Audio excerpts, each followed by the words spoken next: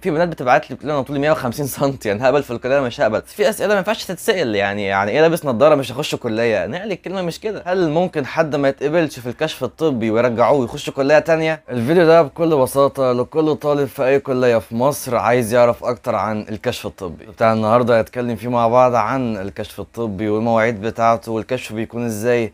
يا ترى ممكن ناس تتقبل ممكن حد ما يتقبلش؟ هنتكلم عن كل حاجة ليها علاقة بالكشف الطبي ومواعيده. فالفيديو بتاعنا النهارده فيه معلومات مهمة جدا. عشان كده لو انت أول مرة تتفرج عليا ما تنساش تعمل لايك الفيديو ده واشترك في القناة عشان نوصل مع بعض ل 50000 مشترك في أقرب وقت. السلام عليكم حبايبنا شباب الكليات أخباركم؟ يا رب تكونوا بخير. فيديو جديد من تاني معاكم أخوكم زياد الحصري. الفيديو بتاعنا النهارده اتطلب مني بشكل كبير جدا. عايزين نتكلم عن الكشف الطبي نعرف أكتر. طب أنا واحد نظري ضعيف. طب أنا حد مثلا وزني زايد شوية. أنا مثلا كنت عامل عملية كذا وأنا صغير. هل الحاجات دي كلها هتأثر علينا في الكشف الطبي؟ طب عايزين نعرف أكتر عن مواعيد الكشف الحجز بيكون إزاي؟ ما تقلقش خالص هنتكلم عن كل الحاجات دي في الفيديو بتاعنا النهارده. بس زي ما اتفقنا لو انت ما تتفرج عليها ما تنساش تشترك في القناة عشان أنا متأكد إنك هتستفاد. نبدأ الفيديو بتاعنا بمعلومة مهمة جدا. يا ترى في كليات ملهاش كشف طبي؟ الإجابة لأ. كل كليات مصر ليها كشف طبي. كل الكليات وكل المعاهد. في حد عامل لي comment من كام يوم بيسأل بيقول آه، إن أنا في كلية حقوق تقريبا جامعة القاهرة أو مش فاكر جامعة إيه آه بيقولوا الكشف عندنا مش مهم. لا أنا بقول لكم هو مهم. يبقى أول حاجة لازم تكون عارفها كل الكليات ليها كشف طبي وإجباري لازم تعمله. تاني حاجة عايز أقولها لك الميعاد بتاع الكشف الطبي بيكون إمتى أو بيكون إزاي أو بيتحدد على أساس إيه؟ أو أنت واحد بتتفرج عليا مثلا بتقول لي قول لي يا زياد أنا عايز أعرف الكشف الطبي بتاعي ميعاده إمتى؟ بكل بساطه هقول لك ما أعرفش. ليه ما أعرفش؟ لأن كل جامعة بتحط مواعيد للكليات بتاعتها. جامعة القاهرة مثلا ممكن تحدد وليكن أربع وخميس والسبت مثلا كلية تمريض وكلية آثار وكلية أسنان. الفكرة إن كل الجامعات المصرية بتحدد كام يوم كده عشان الكليات بتاعتها. يوم مخصص مثلا لتجارة يوم لأداب يوم لحقوق وممكن يكون في يوم في كليتين عادي جدا. يبقى عشان تعرف الميعاد بتاعك لازم تتابع كويس جدا موقع الكلية بتاعك أو موقع الجامعة عشان بينزل مواعيد الكشف الطبي. بس خد بالك اوعى تسمع لكلام أي حد. لو حد ماشي كده بيقول لك أنت الكشف الطبي بتاعك في كلية طب بيطري يوم كذا الساعة كذا قول له انت بتضحك عليا. لأنه فعلا بيضحك عليك. هو ما يعرفش الميعاد إمتى. الشخص الوحيد أو الجهة الوحيدة اللي بتكون عارفه مواعيد الكشف الطبي هي الجامعة بتاعتك أو الكلية بتاعتك. عشان كده بقول لك لازم تتابع على موقع الكلية وموقع الجامعة باستمرار عشان لما تعرف المواعيد بتروح فيها. جالي كذا comment على يوتيوب من فترة. في ناس نزل المواعيد بتاعتها أصلا الكشف الطبي وإحنا عارفين إن الدراسة هتبدأ يوم 1 10 1 أكتوبر. في ناس الكشف الطبي بتاعها جاي لها يوم 5 أكتوبر. وفي ناس كمان جاي لها يوم آه، 15 أكتوبر.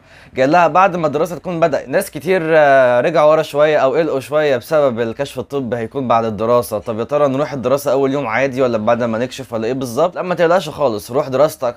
ما تقلقش خالص روح كليتك في أول يوم 1 10 عادي حتى لو أنت أصلا كان بعد الكشف الطبي بتاعك يوم 20 10 مفيش مشكلة. الفكرة في التأخير ده إن أنا زي ما قلت في بداية الفيديو إن كل جامعة بتبدأ تحط مواعيد للكليات وأنت حظك إن كليتك أو مثلا بيكون في أعداد كبيرة جدا بتكشف وكليتك اتأخرت شوية فحطوها بعد الدراسة ما بدأت مفيش مشكلة خالص. زي ما اتفقنا ما تسمعش كلام حد يقول لك الكشف الطبي بتاعك يوم كذا تابع موقع جامعتك وكليتك وهتلاقي فيه كل المواعيد. طيب يا ترى أقدم إزاي على الكشف الطبي أو أنا بقدم ورق ولا بعمل إيه أنا هقول لك أنت بتعمل إيه. بنسبة فوق ال 95% كل الجامعات المصرية بتقدم إلكتروني. بتقدم إلكتروني إزاي؟ يبقى زي ما قلت هرجع للنقطة اللي فاتت برضو بتتابع موقع كليتك وبتعرف الميعاد بتاعك وبينزلوا link كده في form بتسجل فيه علشان تسحب استمارة. طيب فلنفترض إنك دلوقتي على موقع الكلية بتاعتك لقيت ال form بتسجل فيها قال لك الكشف الطبي بتاعك مثلا يوم وليكن 29 9 تمام؟ يظهر قدامك كده form أو site معين تبدأ تسجل فيه بياناتك الأساسية اسمك وسنك ورقم البطاقة وكليتك. بس هو مجازا كده هي عبارة عن site أو موقع بتقدم فيه بيانات أساسية. ما تقلقش من أي حاجة خالص البيانات الأساسية دي أنت هتعرف تجيبها مفيش مشكلة. اسمك سنك كليتك البطاقة. لو أنت بتدخل معلومات أساسية كده في الآخر بتعمل save أو حفظ وبعد كده بتطبعها. تاخدها screenshot أو بتطبعها في المكتبة. ويفضل تطبعها في المكتبة. بتكون معاك كده اسمها استمارة الكشف الطبي. بمجرد ما بتنتهي من طباعة آه، الاستمارة بتاعتك يبقى أنت خلاص مؤهل إنك تروح الكشف الطبي بتاعك في الميعاد المحدد. طيب خلاص أنا طبعت الاستمارة بتاعتي خدتها. رحت مثلا الميعاد بتاعي وليكن يوم 20 9 أنا هروح هعمل إيه بالظبط؟ والكشف هيكون إزاي؟ أو هيكشفوا على إيه بالظبط؟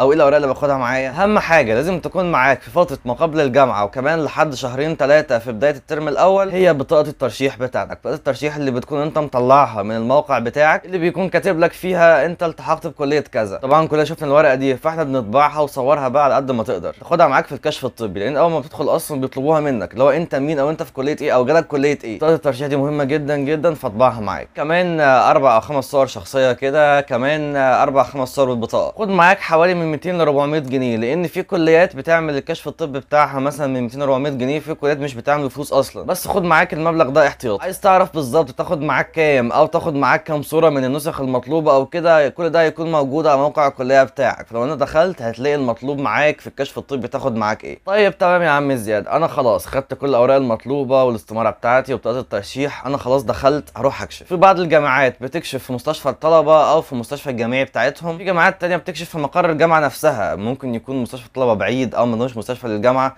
فبيكشفوا مثلا في الجامعة بتاعتهم. الكلام ده ينطبق على جامعة زي جامعة دمياط. لسه مستشفى الجامعة ما فتحتش فعشان كده بتكشف في الجامعة نفسها. طيب أنا دخلت. يا ترى هكشف إيه بالظبط؟ أنت هتكشف على كذا حاجة. أول حاجة تكشف نظر تكشف أسنان وهتكشف بطنة كمان وكمان هتحلل سكر وهتحلل فيروس سي. سؤال مهم جدا ناس كتير بتسأله قلقانه من إجابته هل ممكن حد ما يتقبلش في الكشف الطبي ويرجعوه ويخش كلية تانية؟ أنا بقول لك بنسبة فوق ال 99 و9 من عشرة ما تقلقش من حاجة وإن شاء الله أنت هتقبل في الكلية. طيب أفهم من كده إن الكشف الطبي ده اختبار أي كلام أو كده؟ لأ هو مش أي كلام بس اللي عايز أوصله لك إن الكشف الطبي ده حاجة روتينية. يعني إيه روتيني؟ روتيني يعني لازم شغل على ورق كده إن هو يتعمل وخلاص. فما تقلقش إن شاء الله كده كده هتقبل في الكشف الطبي. طب في حالات ممكن ما تقبلش فيها في الكشف الطبي؟ أيوه طبعا. في حالات ممكن ما تقبلش فيها في الكشف الطبي هنتكلم عنها إن شاء الله قدام. طيب أنا خلاص دخلت المستشفى أو دخلت المكان اللي هكشف فيه هعمل إيه بالظبط؟ أنت بكل بساطة هتدخل على دكتور الباطنه كده هيكشف عليك بالسماعة بتاعته. هيسألك أسئلة عادية بيكون معاه زي ورقة كده أو استمارة. أنت كنت عامل عمليات قبل كده بيسجل آه أو لأ؟ طيب هل ممكن يحصل لك إغماءات آه، أي غيبوبة ممكن تحصل لك؟ بياخد حاجة اسمها ال history بتاعك أو التاريخ المرضي بتاعك. لو أنت عندك أي مشكلة قبل كده بيعرف فلو سألك مثلا أنت عامل عمليات قبل كده من زمان أو حاجة ممكن يسألك إيه نوع العملية دي؟ فلو سألك أنت عامل عملية وخلاص من زمان ممكن تقولك ما عملتش عادي جدا. طبعا أنت عملتها ومفيش فيها مشكلة خلاص وملهاش أي آثار جانبية أو أي حاجة بتظهر بعدين قول أنا ما عملتش مفيش أي مشكلة. بطنه بيكون شكلها بتخلص كشف البطنة بيكون كشف بسيط جدا بعد كده بتدخل على دكتور الأسنان بتكشف أسنان. عايز أقول لكم إن في ناس بتبعت لي حاجات غريبة جدا بتقول لي أنا وزني زايد هل هقبل في الكلية؟ طب أنا أسناني مثلا معوجة شوية هل هقبل في الكلية؟ طب أنا كنت عامل عملية كان عندي كانسر قبل كده وعامل عملية هل ياثر على الكلية؟ والله ما تقلقوش من أي حاجة خالص كل الحاجات دي بسيطة وروتينية كلها بتعدي لدرجة إن في حد بيبعت لي كمان أنا نظري مثلا سالب أربعة هل هقبل في طب أنا لابس نظارة هقبل في الكلية؟ جماعة بلاش أسئلة بلاش إجابات. يعني الأسئلة دي لما بشوفها كده أنا هيجي لي جلطة من اللي أنا. مش عارف أرد أقول إيه بصراحة أنا واحد لابس نظاره وفي كليه في ناس نظرها. يعني حرفيا ممكن يكونوا ما بيشوفوش خالص من غير نظاره فالفكرة في اسئله أنا أنا والله مقدر ال- القلق بتاعتي في أسئلة ما ينفعش تتسأل يعني يعني إيه لابس نظاره مش هخش كلية؟ نقلي الكلمة مش كده. يا عم ما تقلقش أنت لابس نظاره هتقبل في الكلية. أنت وزنك زايد شوية هتقبل في الكلية. أنت طولك في بنات بتبعت لي بتقول أنا طولي 150 سم يعني هقبل في الكلية مش هقبل. ما تقلقيش هتقبلي. يبقى ما تقلقوش خالص من أي أسئلة بتدور في دماغك. أنا والله عارف في الكومنتات دلوقتي هقول لك أنا بعرج شوية. هل هيقبلوني؟ يا جماعة ما, ما ينفعش بقى الكلام ده. طيب تمام. كشفنا أسنان بنكشف إزاي؟ بيبص بص على أسنانك كده وبيسجل عنده. في تسوس مثلا أو في اعوجاج أو في تقويم أو في أي حاجة. ما تقلقش حتى لو كانت اسنانك كلها راكبة فوق بعض أو خلع كل أسنانك أو عامل تقويم وبقك كله متبهدل خالص برضه هتقبل. ما تقلقش. بعد كده بتخش على كشف النظر. وعشان تكون عارف سواء أنت لابس نظارة أو من غير نظارة هتكشف نظر. كل الطلاب بيمروا بالمراحل دي كلها. تقعد كانك عند دكتور عيون بالظبط. بيكون قدامك كده الشاشة حرف السي لك ده يمين ولا ده شمال فوق ولا تحت.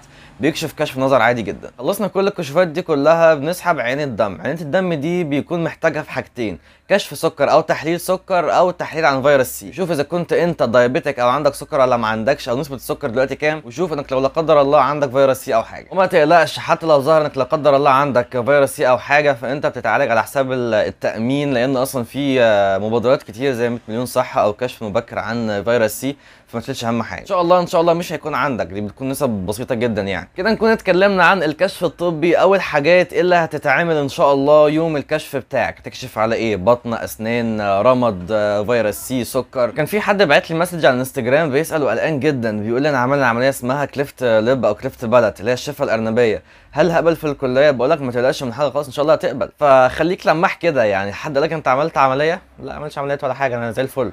نيجي للسؤال الأهم في الفيديو بتاعنا النهارده. هل ممكن حد يترفض في الكشف الطبي أو يسقط في الكشف الطبي وما يدخلش الكلية؟ أنا هجاوبك على السؤال ده. بس ارجع كده خمس ست دقايق ورا في الفيديو بتاعنا النهارده. أنا سبق واتكلمت وقلت إن بنسبة 99 9 من 10 كله بيقبل. هل الواحد من 100 أو واحد من مليون اللي أنا ذكرته ده اللي هو مش في النسبة بتاعتنا ممكن ما يقبلش؟ آه عادي. طيب يا ترى الناس ممكن ما تقبلش على أساس إيه؟ ممكن الواحد ما يقبلش على أساس إنك لا قدر الله عندك تشوهات في ال physique أو في الجسم بتاعك. أو لو لا قدر الله في نوع من أنواع ال paralysis أو شلل الأطفال ما بيقدرش إن هو يواكب الحياة بيها. باختصار كده من ذوي الاحتياجات الخاصة الناس اللي من ذوي الاحتياجات الخاصة سواء mental أو physical بيكون لهم كليات أصلا مخصوص بيهم. فما تقلقش خالص إن شاء الله أنت كده كده هتقبل في الكشف الطبي وهتعدي منه. الناس اللي مش بتقبل دي بتكون واحد في المليون من مليار لأن أنت خلاص قبلت في كليتك فأكيد لو لا قدر أنت ما قبلتش مش هيودوك كلية تانية خلاص أنت قبلت فيها وقدمت ورقك فيها. وبرضه بكرر من تاني عشان عارف إن هلاقي في ال commentات هجوم من الناس بتقول أنا عندي مثلا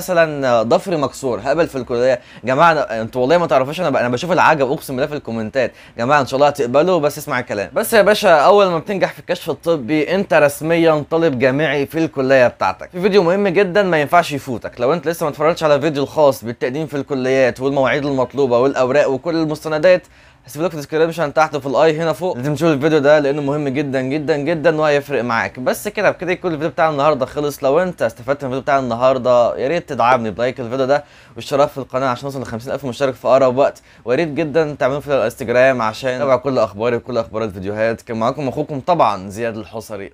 وشكرا.